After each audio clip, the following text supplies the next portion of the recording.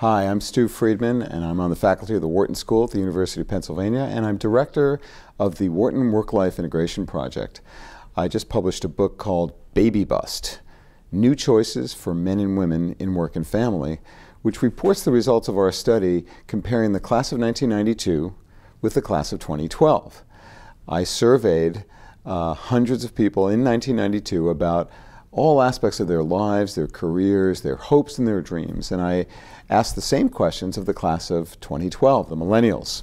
So we have this longitudinal comparison of the Gen Xers with the millennials. And one of the questions we asked was Do you plan to have or adopt children? And the response options were yes, probably, uh, not sure, probably not, and no. In 1992, 78% said yes. In 2012, 42% said yes.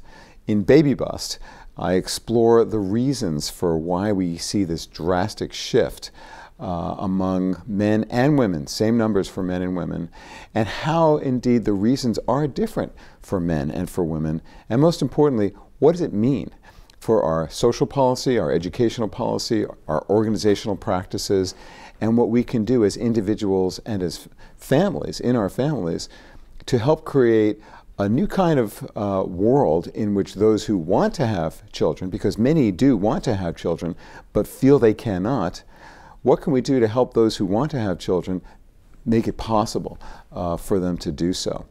The reasons that men don't uh, want, plan to have children to the same degree as in the past have to do with their wanting to be more engaged in their families. Uh, if they become fathers, uh, they are concerned about the debt that they're carrying.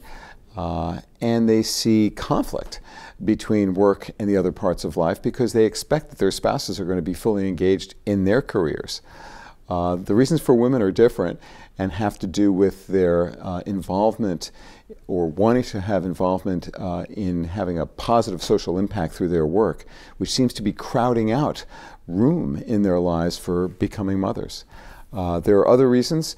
I uh, look forward to hearing your reactions uh, when you take a look at uh, Baby Bust, uh, which again speaks to what we need to do to make the world an easier one for the next generation to be reared in.